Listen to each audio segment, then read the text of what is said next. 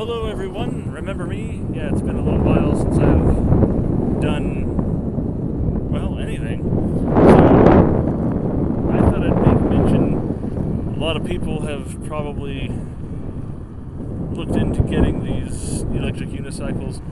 Uh, one of the concerns is if you follow the directions that come with the unicycle and tell you how to ride it, it helps if you know the concept of riding a motorcycle, uh, especially if you're going to get on a faster unicycle.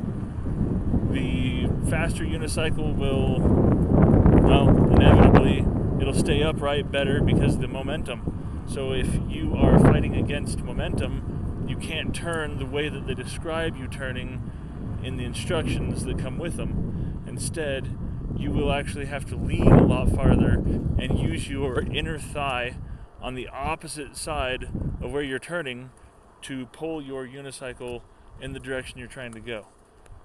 I just figured I'd add that in there. I don't know if anybody's gonna look into getting them in my area, but it's a good thing to know.